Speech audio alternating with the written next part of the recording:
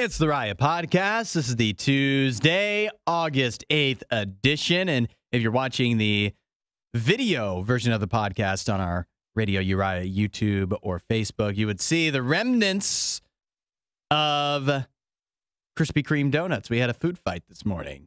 Yeah, we did. Of course, you can also watch that on the Radio U Riot Facebook page and YouTube channel.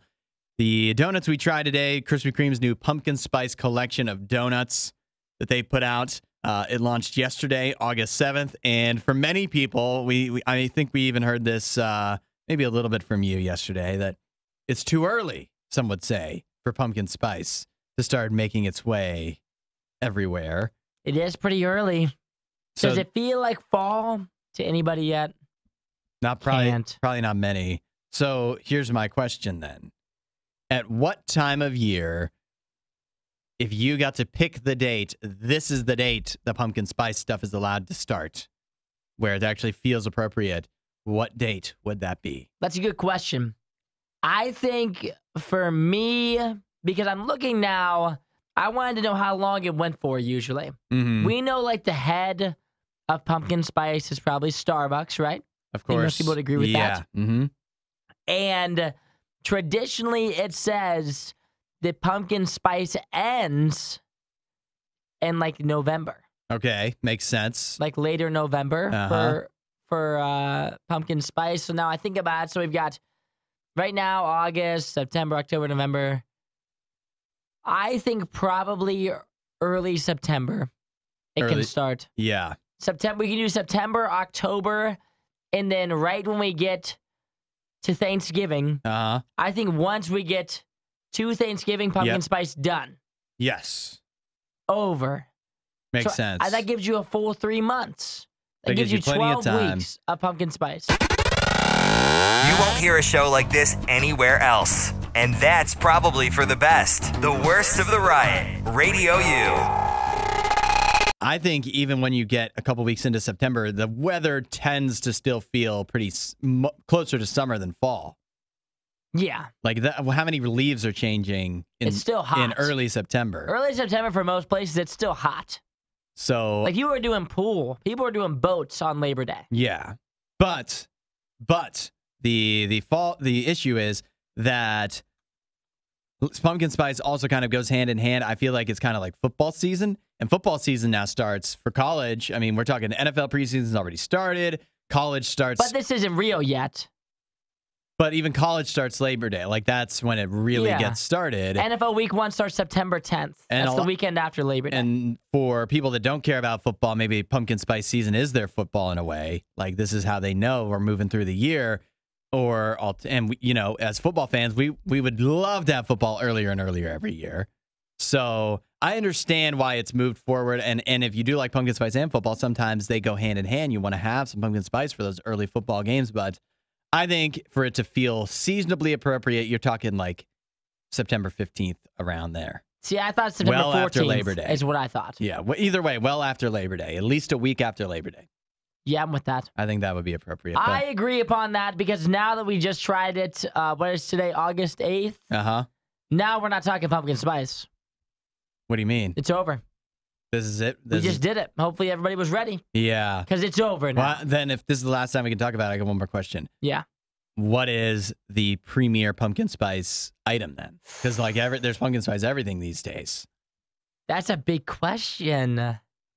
Mm, it's not donuts. You don't think so?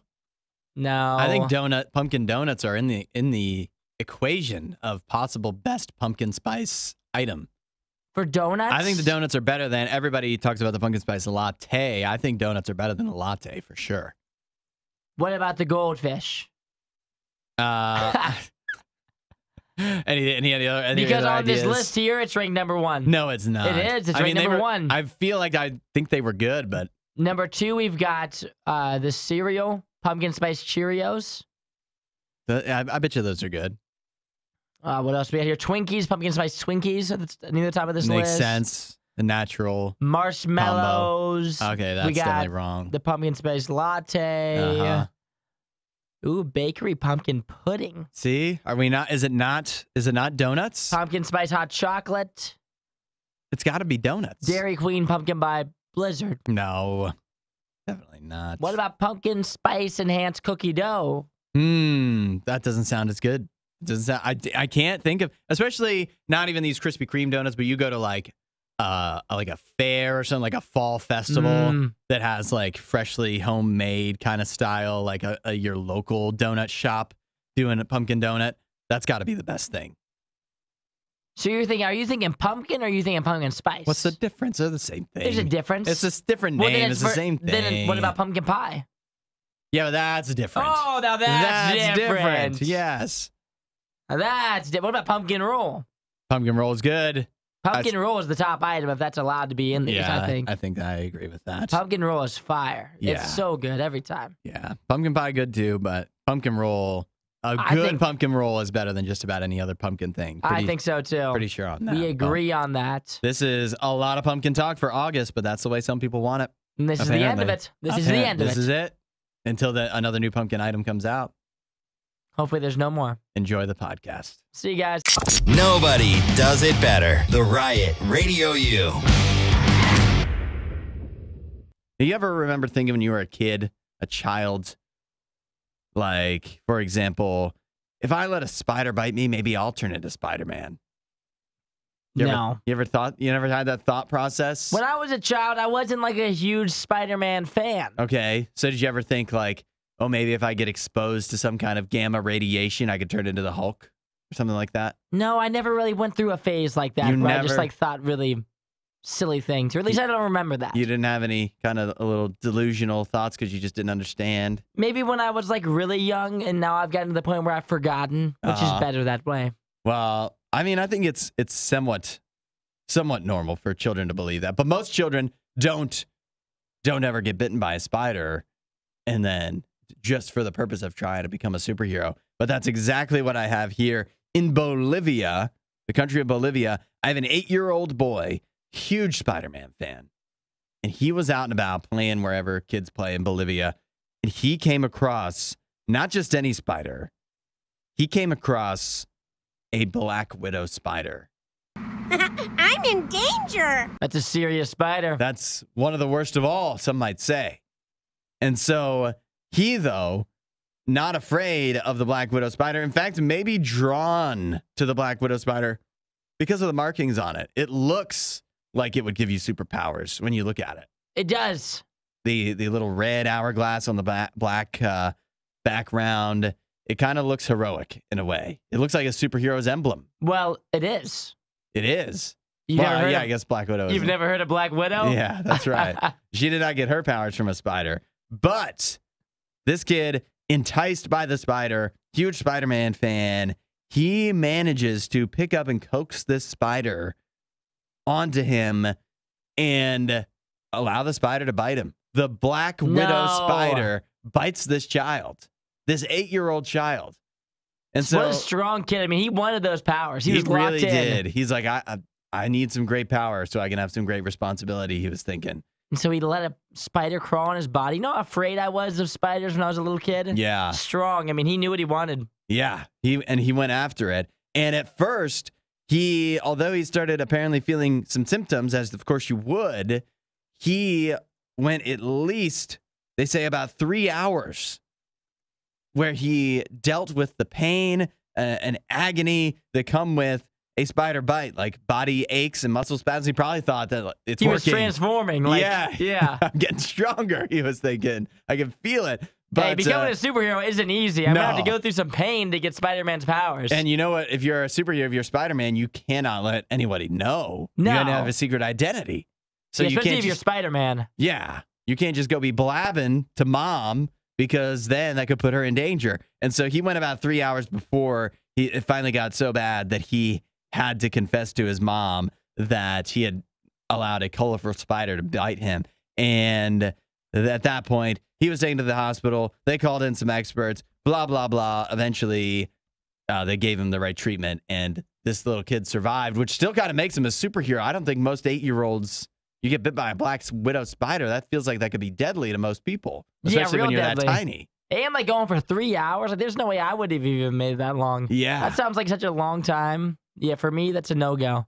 yeah. Not even for Spider-Man's powers. it If wouldn't anything, be worth it. he would have gotten like Black Widow's powers, which is Yeah. way less cool. and all those superpowers. Sometimes, I mean, they could be nice, but they also, uh, as we've seen in the movies, they can be a lot of trouble. Way too much trouble, especially for an eight-year-old. Too, too much to handle. You can't handle. He that. wasn't ready. How many eight-year-old superheroes do you know? Very Not few. many. This is Radio U's Worst of the Riot. I have here the number one thing that people notice when they look at your dating profile. The top thing they're going to see. Nerve-wracking. Yeah. Is everyone ready? this is there's a lot of pressure right here. The number one thing that people notice when they are swiping through Tinder or Bumble or whatever it is is your smile. I'm okay with that. Yeah, for you that's good, right? Are you smiling in your pictures? I'm a big smiler. Yeah. I pretty much smile in every photo I'm in, I think. I don't know if I have any pictures of myself where I'm not smiling. You got chompers like that, you got to show them off. You know? That makes sense. So it makes sense. Uh, and- and it is true that what it says here is not, it's not what your smile looks like, although I'm sure that's important, but more so, are you smiling or not smiling? It's important. That's what people want to know. You don't want to have a dating profile pic, your lead off picture. You do not want that to look all dour and sad or too serious. You want to look like you're a happy, fun loving person that uh, likes to have a good time. Yeah, you have to. And I think too, if you aren't smiling in your photos, when I would go through on the dating profiles, Mm-hmm. if you weren't smiling in your photos, like if you didn't have a single photo smiling, showing Yeah. teeth, then I just assume that you've got just like wild teeth. That could be. Yeah. Like if you're just if you're smirking in every photo, then I just assume that you don't have that you've got like really wild teeth. Because if you had real nice ones, you'd yeah. smile. Either you're a real upset person Angry little guy. with no no joy in life, Yeah. or or you're real ashamed of your teeth. Which uh, I mean, if they're if they're kind of wacky, I understand. It's it's uh, it is something that you don't exactly feel proud of showing off. But then again, it's better than looking like you're like you're grumpy. yeah, like you're yeah, exactly like an angry little man. Yeah, You gotta show off the teeth. you gotta show off the teeth, the to- smile, and this actually it not only goes for dating profiles, but this goes for when you're meeting new people in general. Uh, according to this survey, which was done uh, for a dating app, but they ask questions about like what makes a positive first impression. What are the first things you notice about people generally when you meet them too? And so I guess this would mean when you go out on a date or just in business or whatever too. Just just meeting new people. The smile is the first thing in person or online. You want to smile when you meet new people. You want to put that forward. Otherwise, people might they're gonna they're gonna get a bad first impression. They're gonna be off, but I think that's important too. Like, cause you know people that when you talk to them, they're like big smilers and they're really expressive, and then you know people that when you talk to them, they like don't show any emotion, Uh huh. And it just kind of it makes me a little nervous.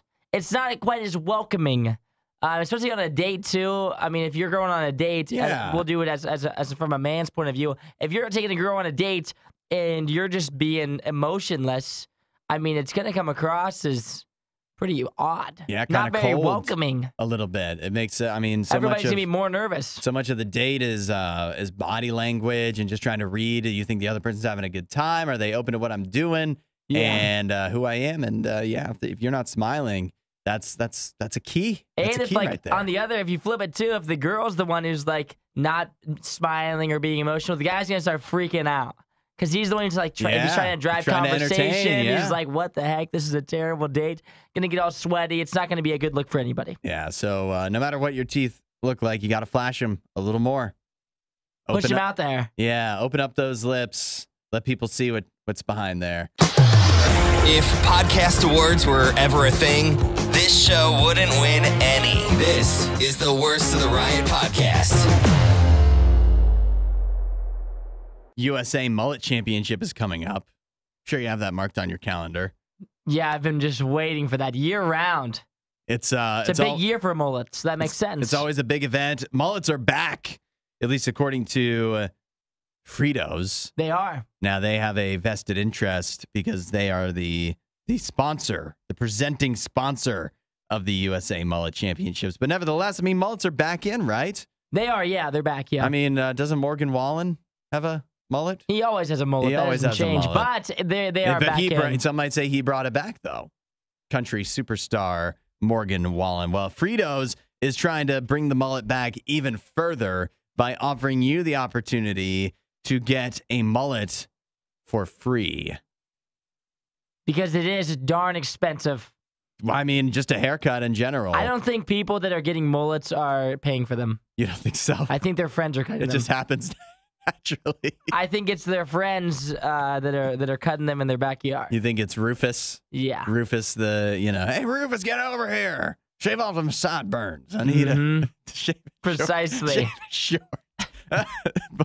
you could get a real bona fide mullet that's gonna look real nice though, courtesy of Fritos. And all you need to do is uh, sign up every Friday this month through August 25th. You can book a free, they call it a Fritos Flow mullet haircut at Floyd's barbershop locations throughout the country. You just have to visit uh, Floyd's barbershop online and book your appointment and select the Fritos Flow mullet for your haircut that you want when you book your appointment. And then Floyd's and Fritos, they're going to take care of you, get you a nice free mullet, free of charge. And then you'll be suited up and ready to enter the USA Mullet Championships when they come up in a few weeks. You ever considered a mullet? I've, I've, um, not exactly. I've had family members with mullets. My dad had a mullet for a long time. My What do you mean? Like how many? Was this like when you were alive? This is like a long time ago. Uh huh. It was probably, I don't know, probably like how long ago was it? I don't know. He had a mullet for a long time. I Gee, remember good him having hair. a mullet growing up, and it was a huge deal among everyone he knew when he cut it off.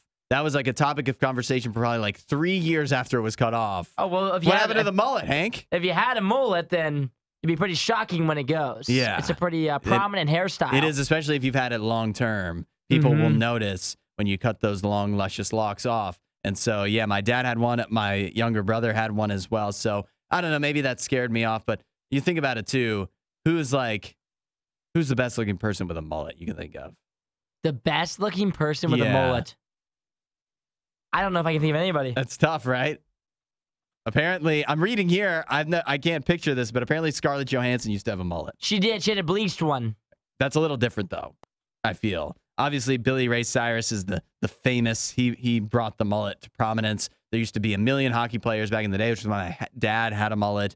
But that was just different times, you know. Completely different times. When I, I typed in best looking mullets by celebrities, Uh-huh.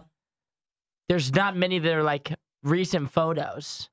Yeah, they're probably from like the '80s. We've got some. We got. I mean, there's David Spade. Uh huh. That's Joe Dirt. That's Joe Dirt. Billy Ray. That's I mean, not exactly like, oh, I want to look like Joe about Dirt. here? You go. What about John Stamos? Yeah, Yeah, his was- mullet. I think he'd look good with any haircut. Yeah, that's true. Kurt Russell, George Clooney had a Oh, mullet Kurt for a Russell. little bit. Yet again, these guys, it doesn't matter what their haircut looks like. It, to me, Yeah, these are these ones are looking pretty good. But all these are old photos. No one has of new. Look, look at Brad Pitt with a mullet. Whoa. yeah, All right, that's yeah. right. We Different found some time. good ones. Yeah, we, I guess we did. I guess we did, but uh, but now in this modern day and age, not as much. But maybe that's about to change, thanks to Fritos at Floyd's Maybe. Barbershop. Oh, hi there. This Worst of the riot. Crank that up. Radio U. Isaiah, if you were gonna kill somebody, how would you do it? I'm not much of a killer. No, but if you had to, I don't even know. don't act like you haven't thought about it before. Wait, wait, what's the best answer to this? You mean to strangle someone? Uh, strangling? I don't know. That you have to have a lot of. Yeah, I mean, you have to be dead inside yourself to be able to do that to somebody, right? I think you had to kill someone. You had to do that To- to be like to- that too. To watch, yeah, but like, there's more. Uh, strangling is so face to face. You'd have to watch them die.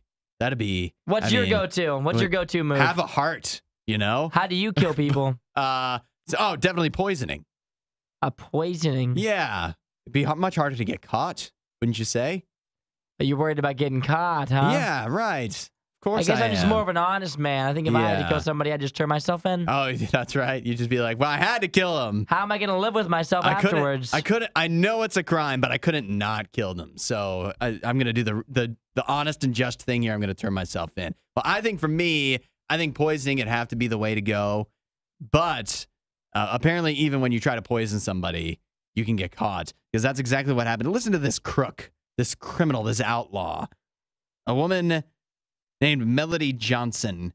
She is accused of trying to poison her one time husband with bleach. She was trying to bleach him to death. Apparently, and this this this makes it even worse. This all began when her and her husband were in Germany. The reason they were in Germany, this guy's uh the husband in the Air Force.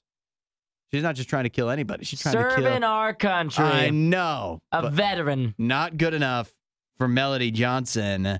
apparently, they were they were going through the beginnings of a divorce, and she started to try to sneak some bleach into his coffee. She thought that would do it. That would do the trick. And who would who would know? Who would be the wiser? But apparently, her husband was the wiser. Roby Johnson, his name. He started to notice his coffee tasted a little funny and he got suspicious. And so uh, he happened to have some pool chemical test strips, anyways, and he Smart test- man. tested the water, Never trust the woman. tested the coffee, and found that it was coming back, coming back some uh, some questionable results. So he in- secretly installed security cameras, and sure enough, what did he find?